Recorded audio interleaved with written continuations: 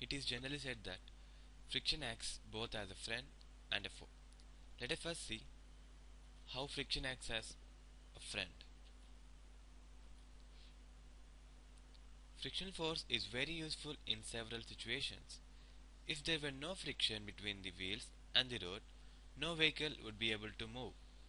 And if there were no brakes in a bicycle, there would be many accidents. It is actually the frictional force between the road and the wheel or between the wheel and the brake that makes the vehicle move and stop.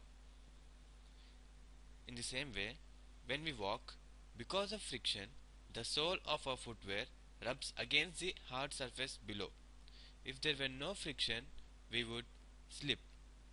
So, friction helps in walking on the road without getting slipped. Now we will see why friction is called a foe. In a manufacturing industry, many huge machines are used for the production of components. In these machines, friction plays a vital role. The machine parts that come in contact with each other wear out because of friction. Hence, these machine parts have to be replaced with new ones, which ultimately increases the cost of production. Similarly, even the soles of our shoes wear out due to continuous rubbing of our footwear against the hard surface below.